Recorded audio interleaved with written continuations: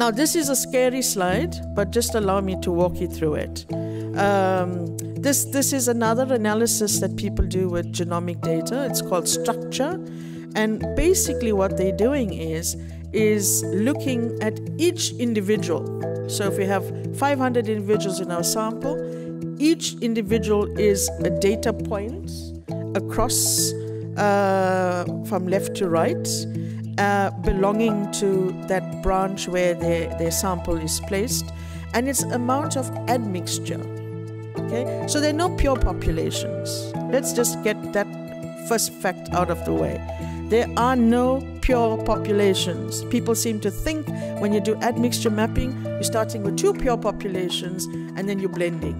No, we are mongrelized ahead of that. And so now when you when you look across using structure, it identifies these different genetic backgrounds.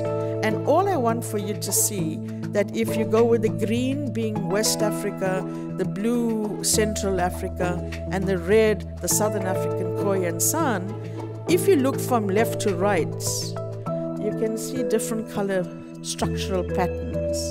And so this is what is going on in Africa.